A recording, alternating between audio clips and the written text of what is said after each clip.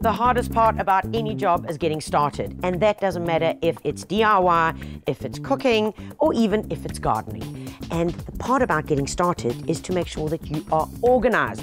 You know, if you got all your stuff ready there, boy, you just get in, get it, and go. By the time you found the extension cord, you found the, the garden fork, or the rake, and you've had to go all over to look for it, you are over it.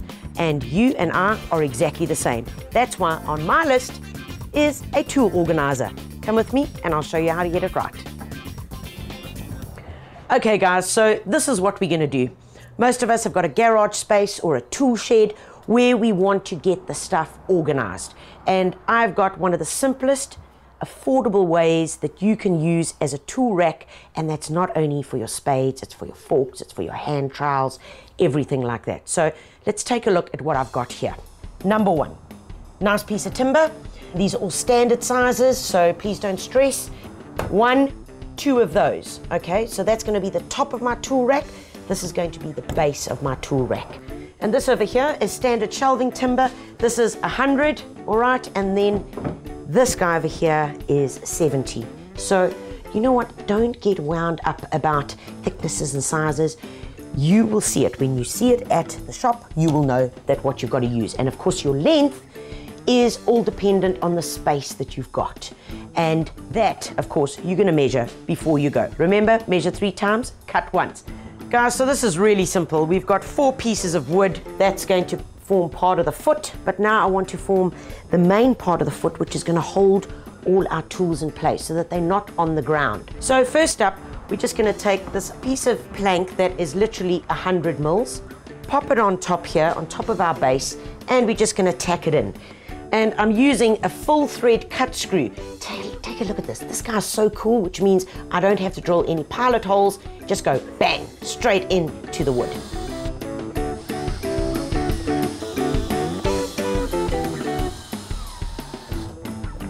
Right, guys, nice and simple. Let's take a look. There is our foot, pretty simple. Now, the next thing that you need to do is get a bit of PVC piping. Um, this is the thin guy, get the smaller one, 55, and the big one, the 110. And all I've done is cut a few pieces like this. And we've put it at an angle because this is gonna hold the bottom of the tool, you know, to stop it from falling out, keeping it neat and tidy and these just cut with a hacksaw and we've done a 45 so you can get the screw back inside there. But we're going to need probably about three or four of these and that really is a simple process. Okay? Next up let's go to where we're going to put it all together.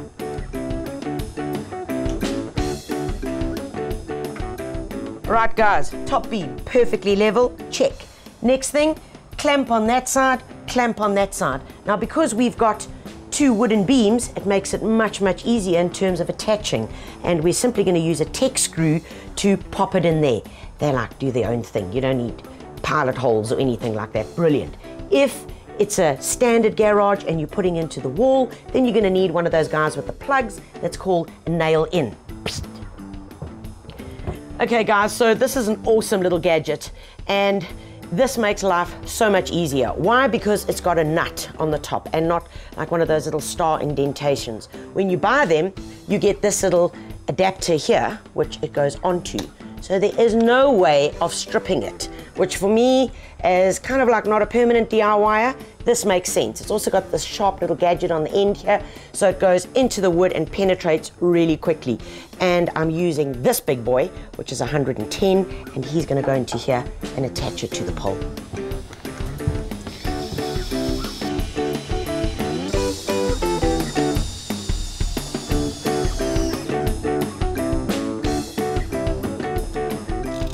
All right, folks, both clamps are off. Next thing is to put the foot plate on, which is where our tools are going to rest, and we follow exactly the same procedure. Clamping, getting level, drilling it in.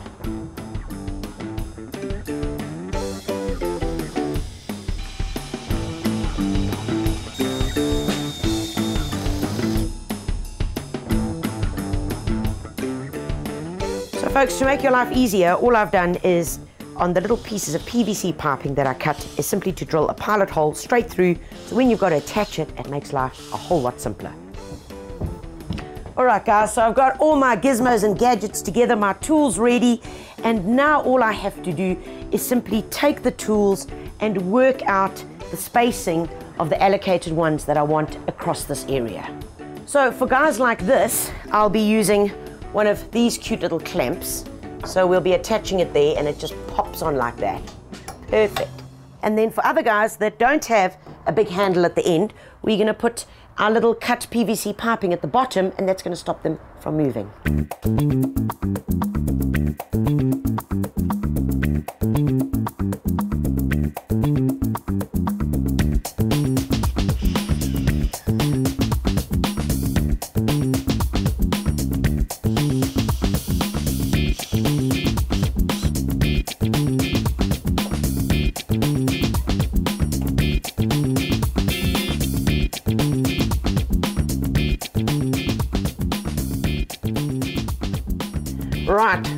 In, and folks, from a safety aspect, make the fork point inwards, please, not outwards, okay? Somebody could impale themselves.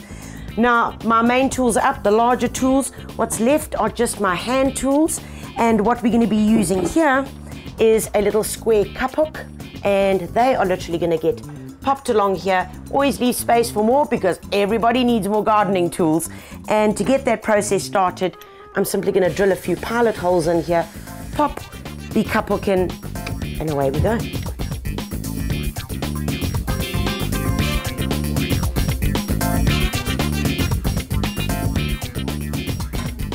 Well, there you have it, folks. Everything looking neat and tidy. We know where everything is.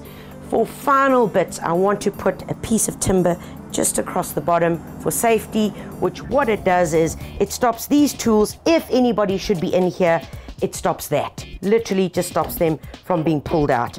And that is just one extra added bit. Well, there you have it, folks. Garden tool organizer, done.